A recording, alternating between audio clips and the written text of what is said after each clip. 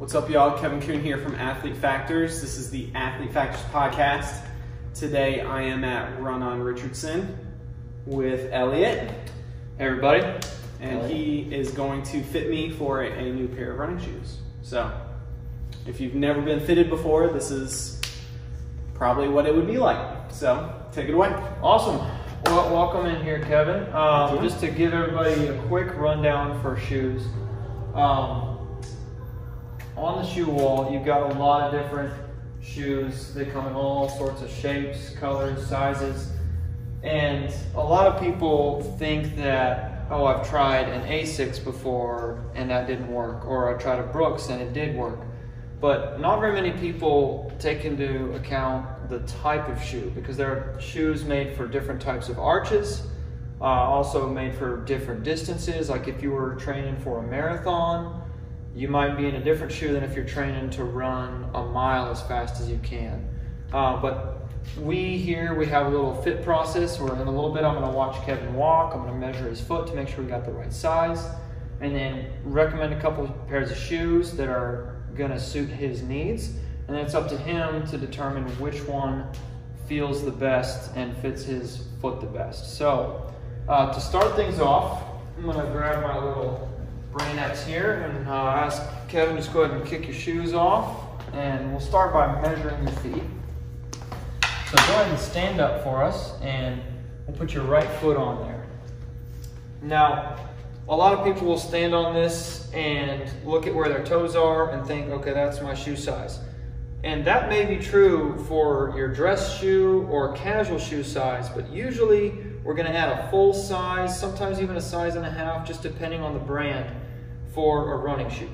So looks like Kevin's foot's coming right about the 10 line, so we would normally add a full size to that as a ballpark, and then obviously it, it depends on the individual brand. So Kevin, what size do you normally wear? Nine. Nine. well, I think that's the first thing we're gonna change. Um, How exciting. now what we're gonna do is I'm gonna have Kevin walk in a straight line down that way, and I'm, what I'm looking for is pronation to see how his ankle moves as he steps. Is his arch collapsing? Anything like that. So come on back now, Kevin. All right, so I'm not seeing a whole lot of movement. Kevin has a pretty high arch, it looks like. We'll look at that a little bit more in a second. Um, but overall, not a whole lot of movement, very neutral, and a little bit of a narrower foot. So uh, let me ask you this, Kevin. Have you had any injuries that I need to be aware of or, or anything like that? Uh, I injured my back in college. Aside from that, not really. Okay.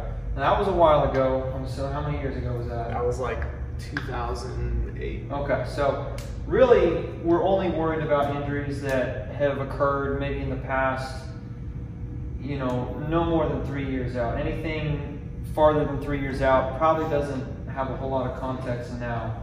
Uh, but, you know, obviously, so you're relatively injury free, so we won't worry about that. Um, now, what we're going to do is get an idea of the profile of the bottom of your foot. And to do that, I'm going to have you stand on this Currex disc. So go ahead and put both your feet on there.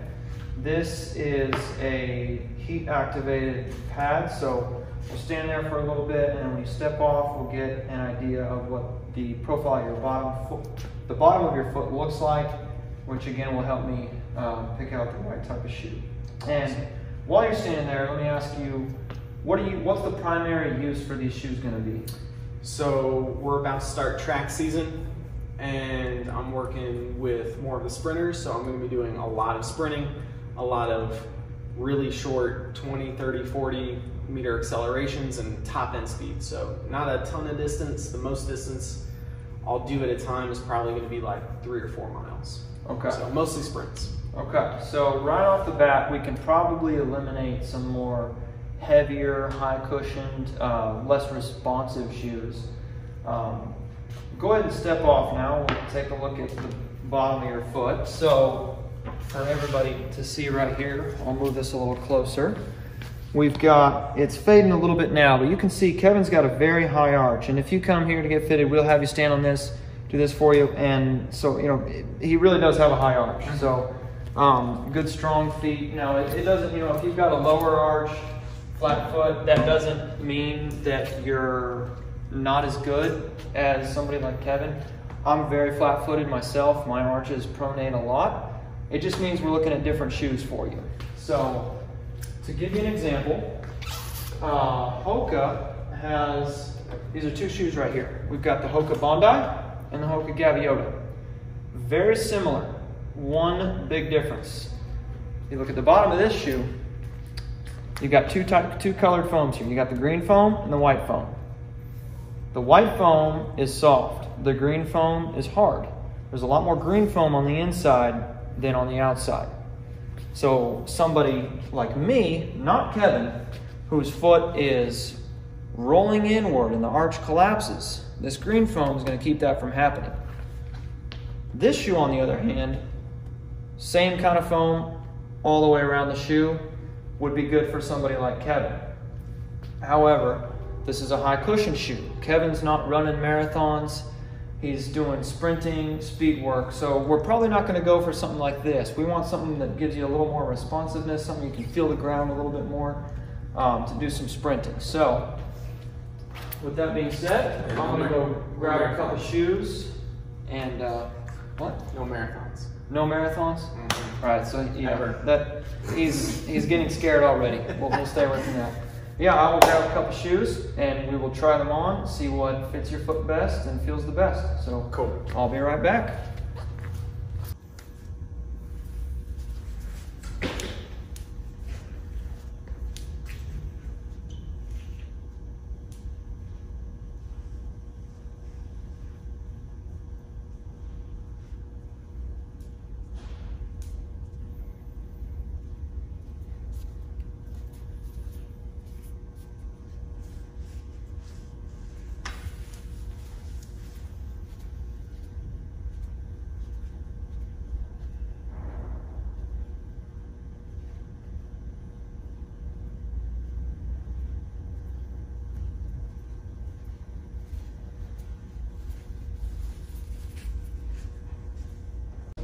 All right, so we got several shoes to try out here, Kevin. We'll start with this shoe. It is called Brooks Levitate.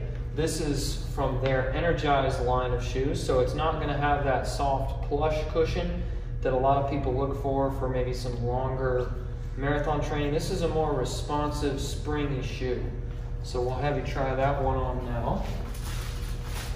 I like And- the look. All right, that's you know, we don't buy shoes off of the look, everybody, but it's an added bonus. So we're starting good. Uh, now, when you fit for shoes, there are a couple important things. One is you want to have a thumbnail's width of room between your longest toe and the end of the shoe, and you don't want to you know, pretend that you've got, well, you know, if I pull my toes back and then squeeze my thumb in there, that's a thumbnail. we want a solid thumbnail's width of room when you're standing up, putting pressure on your feet. The other thing is the distance from this, from uh, across your metatarsal joints. If this is being pinched, it can cause a lot of discomfort. So even if it's slightly tight right here, it might be beneficial for you to go to a wide. I don't think that's going to be the case with Kevin here because he does have a narrower looking foot. Uh, I think he's going to be okay with a regular width, but uh, why don't you stand up for us, Kevin? And we'll see how much room we have in these toes. And looks about about right. So uh, you can't see on camera, but he's got about exactly a thumbnail's width right here. This is his bigger foot. His smaller foot has a little bit more room, but you always fit to the bigger foot. So, Kevin, give him a try.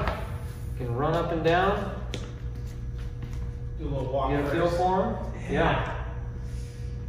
Now, all of these shoes are relatively similar in that they're designed for the same type of purpose. However, they're made by different brands, there's different foams, different uppers. There's a reason there's more than one shoe company has made it in this world because everybody's got different feet. And what feels good to Kevin might be different than what feels good to somebody else who's got a similar foot and is looking for a shoe to do the same sort of things. Uh, so there's one option. What are your thoughts? No, I kind of like it. Feels pretty good. Feels pretty comfy. All right. We'll we will move on to the next one. Go ahead and slip those off. We've got an On Cloud X right here.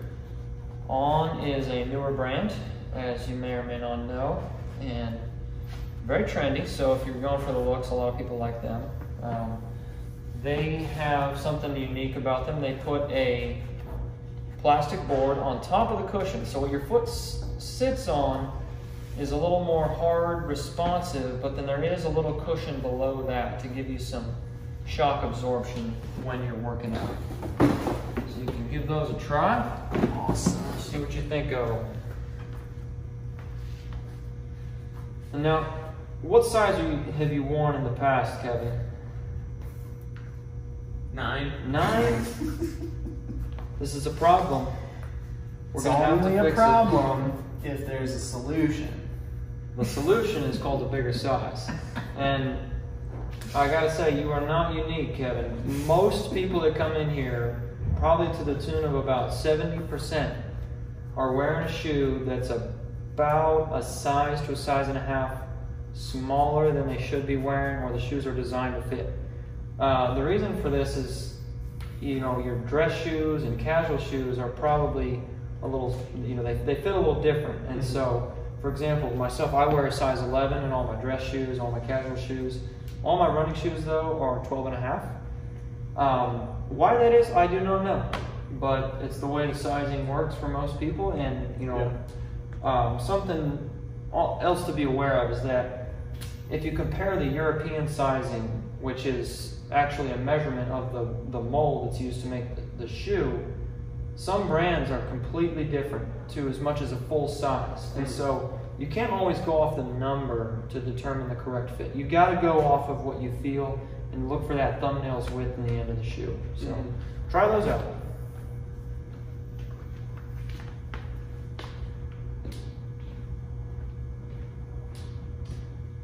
Any differences you notice between those and the Brooks Levitate? Yeah, these feel a little more like loose everywhere, if that makes sense. Like it, it definitely doesn't feel as uh, maybe snug and secure. Snug, okay. yeah. Like yeah. that, the Brooks shoe felt almost more like a sock. Okay. Like around my foot. Glad you pointed that out. So one of the things you'll notice about this shoe, it's a knit upper, and so it's going to have a little bit of that sock fit. Mm-hmm. Now again, that doesn't make it better. It, you know, obviously your foot, it's, it's fitting a little bit better, but it, yeah. it will have a different feel. Some people, it may not work as well though. So that's why you got to come try them on instead of ordering online. Mm-hmm. All right, we will move on to the next shoe. So slip those off. Now we have a New Balance Fuel Cell. Um, again, a similar shoe, light like the rest of these, definitely more responsive. Of the three, this is probably the one with the most cushion. And so we will, this is a uh, pared down version of their high performance marathon racing shoe. Um, so they've taken that, taken a lot of the cushion out of it, made it a little bit lighter, more responsive, and pretty good shoe for uh, you know some light running and sprinting type workouts. So we'll see what you think of this one.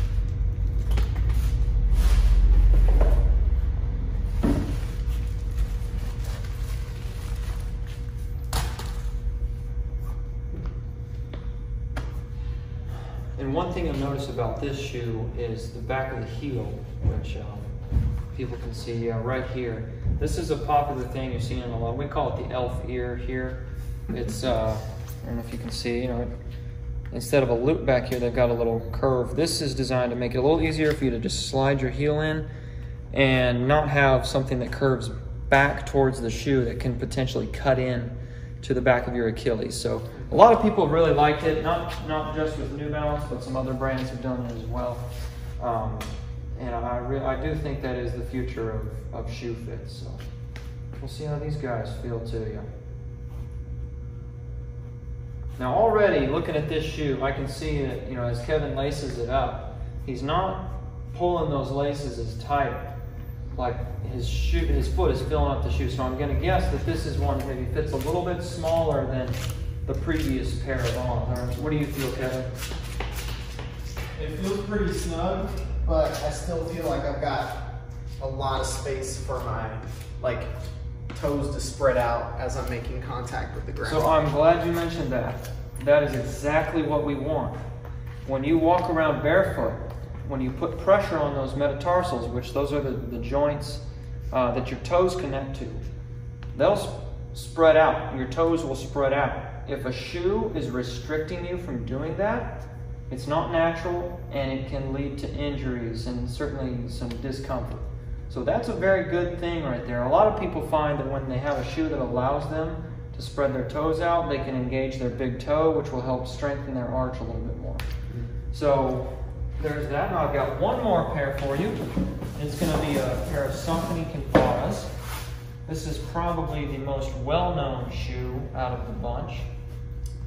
It's been a popular one for a long time. It's definitely going to be the lightest weight, Mm. but there's always a trade-off with things. It's not going to last as long. You got to remember every time you take material out of a shoe, it's you know, the law of physics. When you take material away from something, you lose structural integrity, and it's not going to last as long. Um, but having said that, it is a very comfortable shoe to a lot of people, and you know you just might have to burn through a few more pairs than you would of something like uh, the, the Levitate or the, the On Cloud X there. So we'll see what you think of these guys. They look pretty. They look pretty. You know, my uh, my coach used to say, running fast is ninety percent looking good, and I I take that to heart. You know, I genuinely believe that. Well, I'm glad you think that. Hopefully, we can find something that looks fast and feels fast.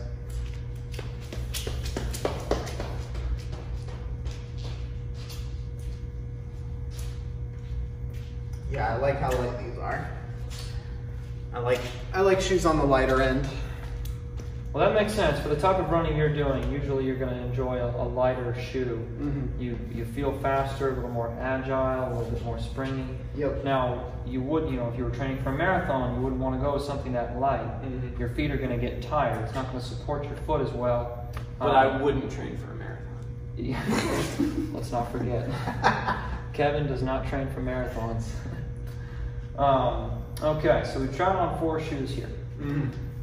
At this point, I would let's try to narrow it down a little bit.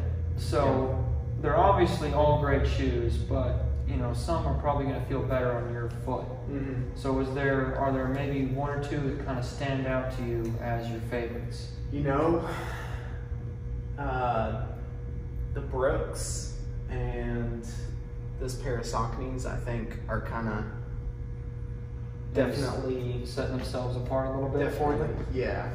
And I, I really like the New Balance as well, but I think, yeah, Brooks and, and the Saucony are definitely in the top top two for me. Okay, well let's do this. I'm gonna have you take one of those off, and you're gonna put one of the Brooks on the other foot. It's not weird. People do it all the time. I do it myself to compare one shoe to another. Just wear one on each foot and see what the pros and cons are, hopefully one of them will feel a little bit better. And a good way to think about which one is best for you is which one do you notice less?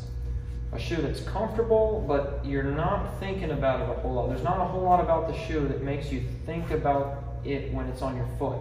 Because the last thing you want to be thinking about when you're trying to do an intense workout um, is your shoes Mhm. and how they feel on your foot. You just want to be comfortable and thinking about running fast. So try to, you know, it's a little bit counterintuitive to think about which one you notice less, but um, see if that helps you.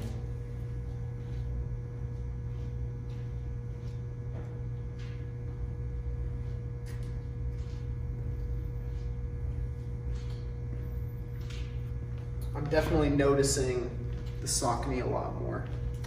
Okay. Brooks just it just feels like it's it's my foot. That's exactly what we want. So, in this case, I would steer you towards that. Obviously, you've got to go with what feels good, but I would steer you towards the one that you notice less. Mm-hmm. So, the final step for our shoe fit is to see if we can take that feeling up one more notch with an insole to customize the fit. So I'm gonna have you take off the Saucony, keep the Brooks on while I grab an insole for us. Now, as we used our Currex disc earlier to get a profile of bottom of your foot, determined you've got a very high arch. So we're gonna go with the high profile. Now all this is, is to fill in all the space between that high arch and the bottom of the shoe. The shoes are designed to fit a lot of different people. Um, some of them may be a little flatter footed. And so by sticking this in here, we can try to really fine tune it to your foot. So we'll have you try that on and compare those two.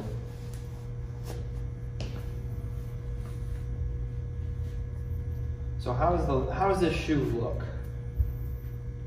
Looks pretty fresh. Pretty fresh. Mm-hmm. Is that what the young kids are saying these days? I don't know. Um, it smells fresher than this pair. Well, that's not saying much. um, and then, you know, when you're picking out shoes, color should be it, it should be the last thing on your list. Yeah. No, I However, like, I like the way they look for sure. There, most of these shoes do come in multiple colors. Mm-hmm. So, you know, in that particular one, I can think of at least two other colors we've got. I think in your size right now. Nice. Um, but I don't know. That's that's, that's a pretty good looking Blue's one good. there. So, yeah, blue's good. so how do you how's that insole feeling in there? I definitely feel uh, like shoe or like I, I can feel the insole touching all of my arch. Well, that's exactly what we're going for. We want something that the idea is to even out the pressure. So instead of you know a lot of pressure on the heel and then the forefoot, we've got a more even fit throughout. So you know you feel a little bit in your arch, midfoot, and you know metatarsal heel, everything, Mm-hmm. um, as opposed to just the heel and the forefoot like you might get in a more traditional shoe.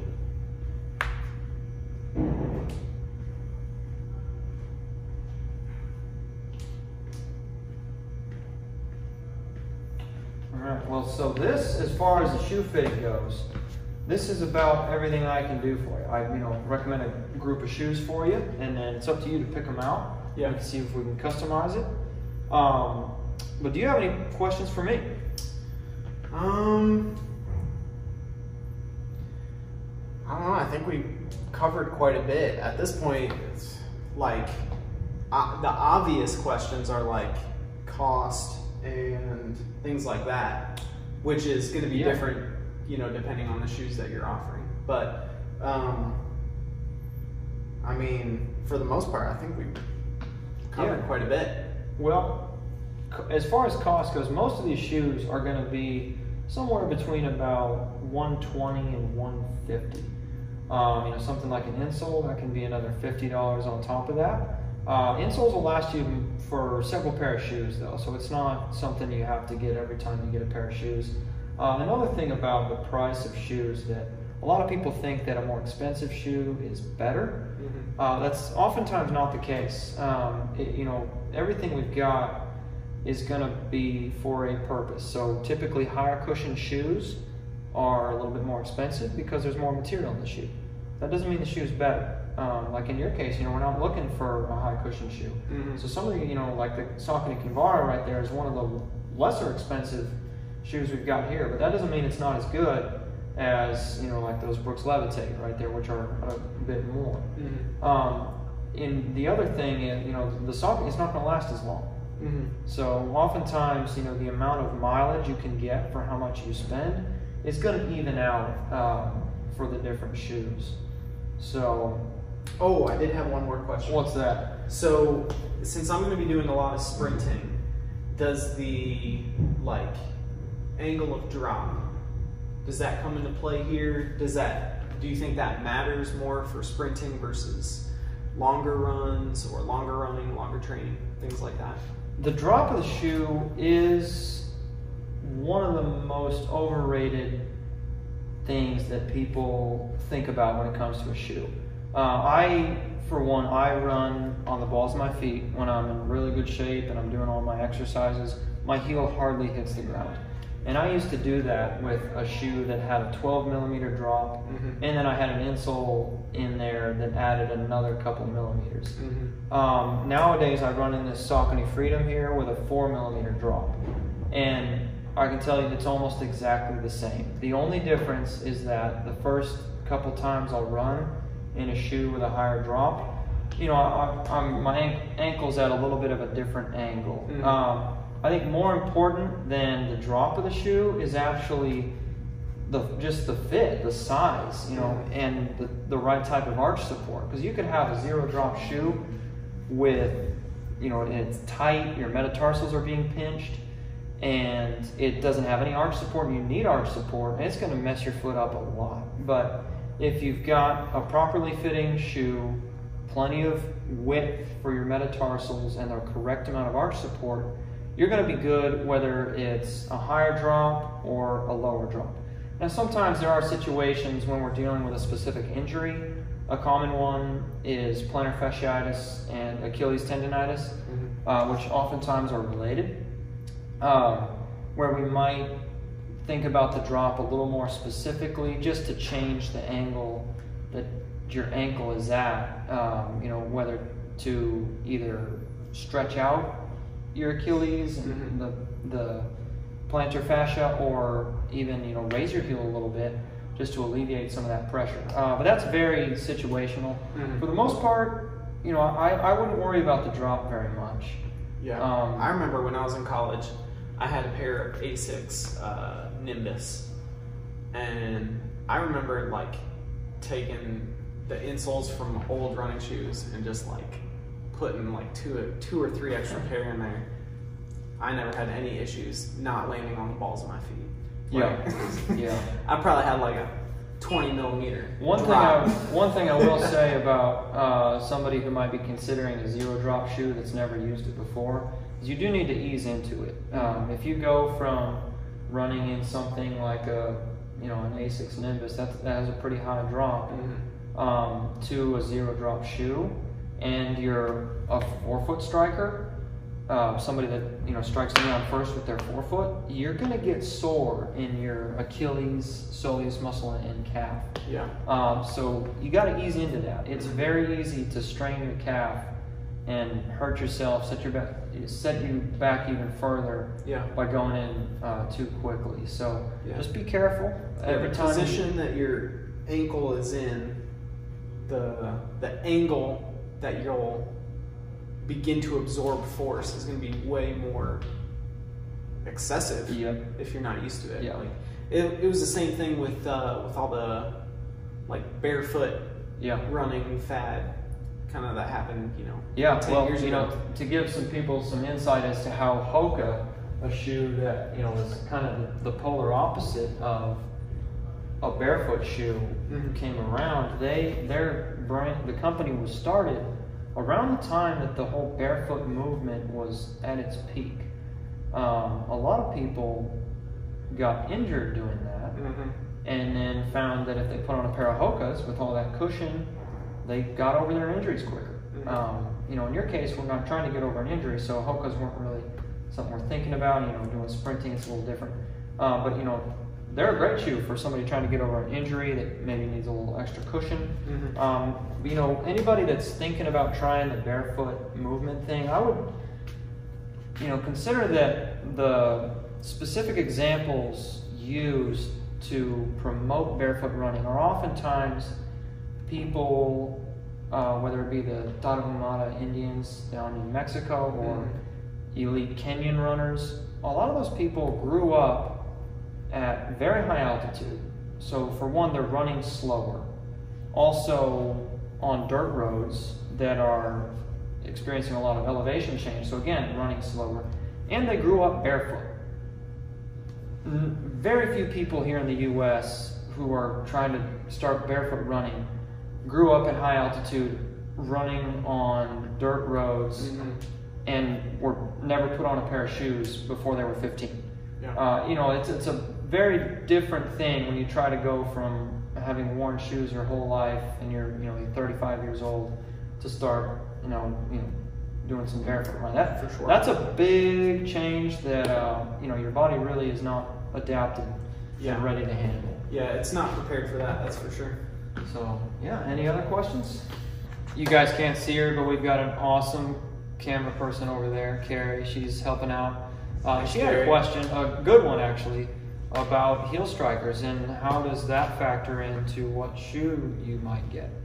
Um, and what I would say about that is, you know, a lot of people think that well, if you're heel striking, you need, you know, something with a higher drop, so you got more padding in the heel. If you're toe striking, you need, you know, more closer to zero drop shoe.